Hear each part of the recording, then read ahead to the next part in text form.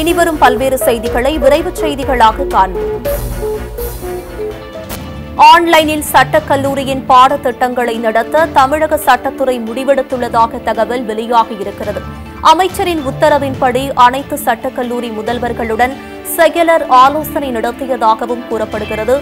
Google class room WhatsApp ஆகிய செயலிகள் மூலம் பாடத்திட்டங்களை நடத்த முடிவெடுக்கப்பட்டுள்ளதாக தகவல்கள் தெரிவிக்கின்றன. ஊரடங்கு உத்தரவால் தருமபுரி அருகே செங்கல் சூளைகள் மூடப்பட்டுள்ளதால் ஆயிரக்கணக்கான தொழிலாளர்கள் வருமானமின்றி தவித்து வருகின்றனர். தருமபுரி மாவட்டம் பாலக்கோடு மாரண்டஹள்ளி சாமனூர் பஞ்சப்பள்ளி உள்ளிட்ட பல்வேறு கிராமங்களில் செங்கல் சூளைகள் செயல்பட்டு வருகின்றன.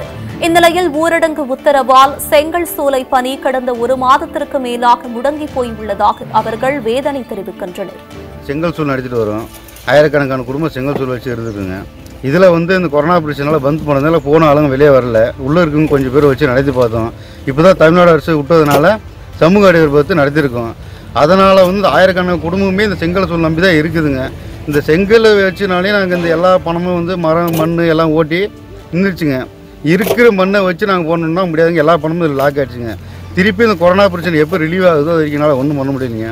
இதை நம்பி தான் இந்த தின குடும்பம் வாழ்ந்துட்டு வருது. எங்களுக்கு அரசாங்கம்லாம் பார்த்து ஏதாச்சும் பண்ணால் தான் உண்டு. தூத்துக்குடி மாவட்டம் கோவில்பட்டியில் சாலைகள் முழுவதும் தண்ணீர் இல்லாமல் கருகும் செடிகளுக்கு சமூக நல அமைப்புகள் தண்ணீர் ஊற்றி வருகின்றன. கடந்த ஐந்து ஆண்டுகளுக்கு முன்பு தனியார் அமைப்பு சார்பாக கோவில்பட்டி சாலைகள் முழுவதும் மரக்கன்றுகள் நடப்பட்டு அவற்றை பராமரித்து வந்துள்ளன. ஆனால் தற்போது ஊரடங்கால் அவை பராமரிக்கப்படாமல் கருகும் நிலை ஏற்பட்டுள்ளது.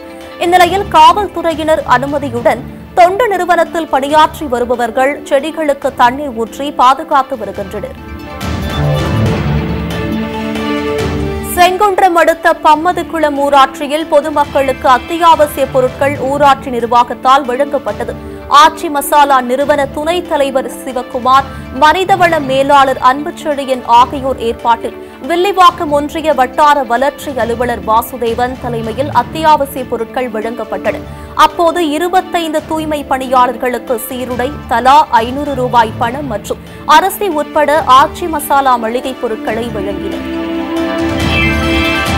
கன்னியாகுமரியில் ஊரடங்கால் பாதிக்கப்பட்டுள்ள ஏழை எளிய மக்களுக்கு ஒரு வாரத்திற்கு தேவையான அத்தியாவசிய பொருட்களை ரோட்டரி குயின் சங்கத்தின் சார்பாக வழங்கப்பட்டது.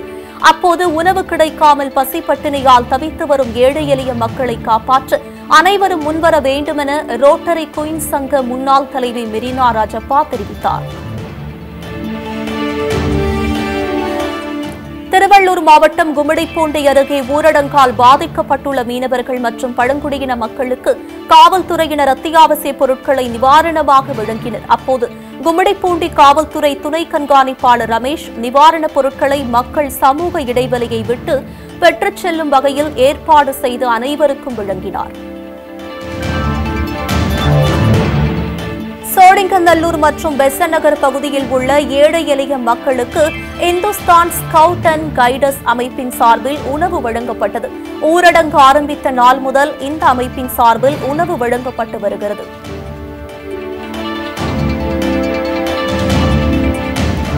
ராணிப்பேட்டை மாவட்டம் சோளிங்கரில் தனியார் கல்வி நிறுவனம் சார்பில் தூய்மை பணியாளர்களுக்கு அத்தியாவசிய பொருட்கள் வழங்கப்பட்டது. இதில் சோளிங்கர் சட்டமன்ற உறுப்பினர் கலந்து கொண்டு சிறப்பு தொகுப்பினை வழங்கினார்.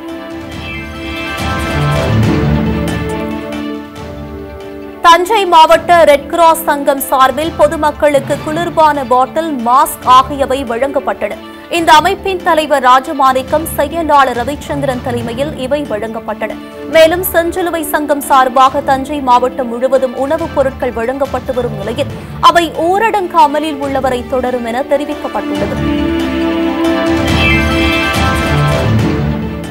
திருவற்றியூரில் இயங்கி வரும் மூன்று அம்மா உணவகத்தில் உணவுகள் விரைவில் தீர்ந்து போவதால் சுமார் ஐம்பதுக்கும் மேற்பட்டோர் உணவு கிடைக்காமல் பசியால் சுற்றித் திரியும் அவலம் ஏற்பட்டுள்ளது. கொரோனா தடுப்பு நடவடிக்கையாக முழு ஊரடங்கு நான்கு நாட்களுக்கு பிறப்பிக்கப்பட்டுள்ளதால் அனைத்து ஹோட்டல்களும் மூடப்பட்டுள்ளது. இதனால் அம்மா உணவகங்களில் இலவச உணவு வாங்க ஏராளமானோர் வருவதால் அவை மாலை ஆறு மணிக்கு தீர்ந்து போய்விடும் நிலை ஏற்பட்டுள்ளது. இதனால் ஏழை எளிய மக்கள் தவித்து வருகின்றனர். மகாராஷ்டிர மாநிலத்தில் இருந்து சொகுசு பேருந்தில் வந்த தமிழக மாணவர்கள் பதிமூன்று பேருக்கு கொரோனா வைரஸ் பரிசோதனை நடத்தப்பட்ட நிலையில் தொற்று எதுவும் இல்லாததால் அவர்கள் சென்னைக்கு அனுப்பி வைக்கப்பட்டனர். அவுரங்காபாத்தில் ஐஎச்எம் ஹோட்டல் மேனேஜ்மெண்ட் கோர்ஸ் படிக்க சென்ற தமிழக மாணவர்கள் அங்கிருந்து மகாராஷ்டிர பதிவெண் கொண்ட சொகுசு பேருந்தில் ஹைதராபாத் நெல்லூர் வழியாக தமிழகம் வந்தனர்.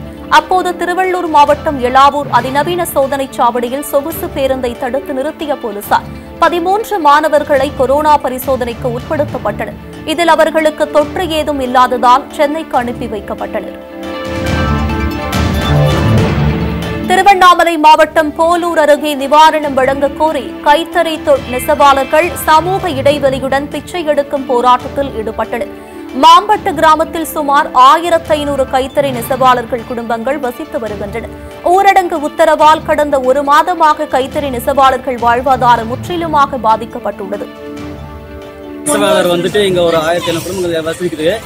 இங்க வந்துட்டு நாற்பது நாள் அந்த கொரோனா வைரஸ் தொற்று காரணமாக ஊரடங்கு உத்தரவு கிடைச்சிருக்க அந்த ஊரடங்கு உத்தரவு வெப்பரிசத்துக்கு நாங்கள் எல்லாம் கட்டுப்பட்டு வீட்டுக்குள்ளே இருக்கிறோம். எங்களுக்கு இதுவரையிலும் தொழில் செய்ய முடியாத ரொம்ப கொடுமையை அனுபவிச்சுட்டு இருக்கிறோம். எங்கள் தொழில் செஞ்சுட்டு இல்லாததுனால எங்களுக்கு வாழ்வாதாரம் பாதிப்பு அடைஞ்சிருக்குது. சிவகாசியில் தடை செய்யப்பட்ட போதைப் பொருட்களை விற்பனை செய்த ஒருவரை போலீசார் கைது செய்தனர். விருதுநகர் மாவட்டம் சிவகாசி நாராயணாபுரம் பகுதியில் குட்கா உள்ளிட்ட தடை செய்யப்பட்ட போதைப் பொருட்கள் விற்பனை செய்யப்படுவதாக காவல்துறையினருக்கு தகவல் கிடைத்தது. இதைத் தொடர்ந்து சம்பவ இடத்திற்கு சென்ற காவல்துறையினர் தடை செய்யப்பட்ட புகையிலை பொருட்களை விற்பனை செய்த மகேஸ்வரனை கைது செய்தனர். தப்பியோடிய முத்துக்குமார் என்பவரை தேடி வருகின்றனர். மேலும் அங்கிருந்து ஒன்றரை லட்சம் ரூபாய் மதிப்பிலான பான்பரா குட்கா உள்ளிட்ட போதைப் பொருட்களை பறிமுதல் செய்தனர்.